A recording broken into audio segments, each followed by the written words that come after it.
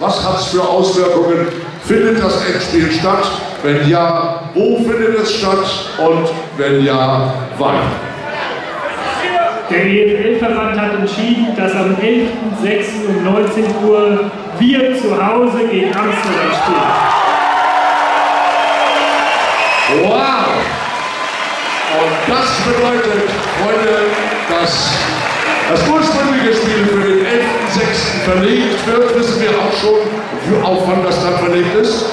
Wir werden das Spiel gegen Saarland auf den 30. oder 31. Juli verlegen. Die Dauerkarteninhaber haben die Chance, sieben Tage ihre Plätze zu sichern und alle Tagesticketsinhaber gegen Saarland haben die Chance zu entscheiden, wollen wir zum Finale gegen Amsterdam kommen oder Ende Juli zum Spiel gegen Saarland. Das ist eine faire Angelegenheit. Gibt es denn jetzt noch die Möglichkeit, Tickets zu kaufen? Wir können jetzt